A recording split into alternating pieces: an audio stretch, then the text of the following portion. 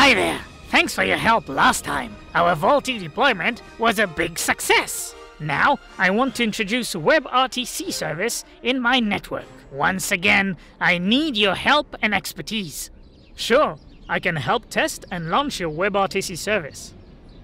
In fact, I'll qualify your network not only for WebRTC services, but also for interworking with all of your other VoLTE, voice over video, and RCS services. Wonderful! I knew I could count on you.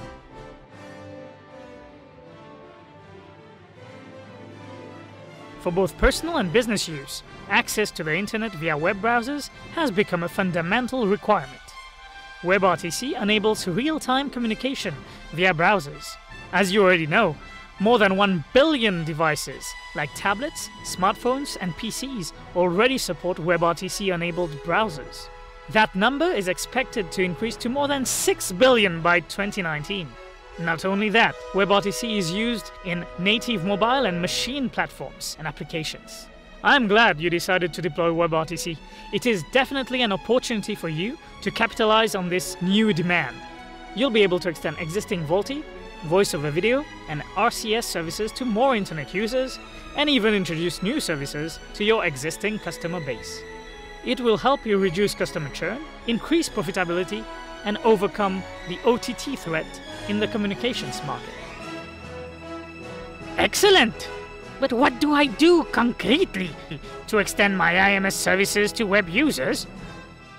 This interworking between the telecom and web clients is made possible by the Web RTC Gateway, responsible for translating protocols and enabling user communication between both domains. Okay, but tell me, will it have considerable impact on my network?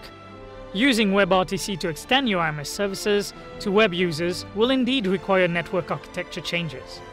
Those changes have to support interworking through the WebRTC gateway, resolve network address translation issues through the NAT servers, and more.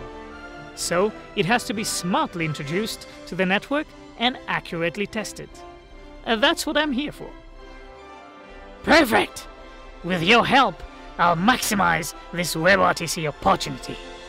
Knowing that I can reach new customers and bringing exciting new services, ah, this makes my day.